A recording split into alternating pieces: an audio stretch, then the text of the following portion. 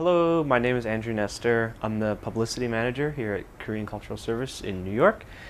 And I was in Korea for about three and a half years. I did my master's degree there in Hanyang University in Seoul.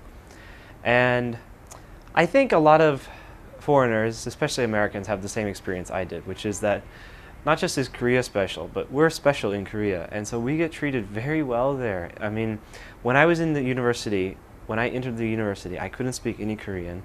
I couldn't read, I couldn't do anything. But the whole university system is in Korean. So I couldn't really do anything there. But from the very beginning, people helped me, my professors helped me, the administration helped me to take care of everything from the beginning to the end. And I know that if I was a Korean student coming to America and I couldn't speak English, nobody would help me.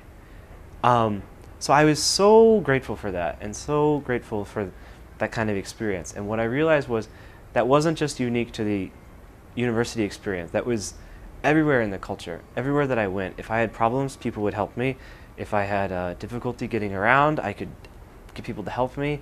Um, so just people were really open and helping and very kind and thoughtful towards me. Actually, I'm going to go back to Korea in the, the last day of September for two weeks into October and I'm going to propose to my girlfriend in Korea. So I'm going to go there and meet her parents and get approval, and then I'm going to propose. Well, actually, I'll propose first, and then uh, we'll have our wedding in the summer, and then living in America. So, uh, happy man. Yeah, thank you.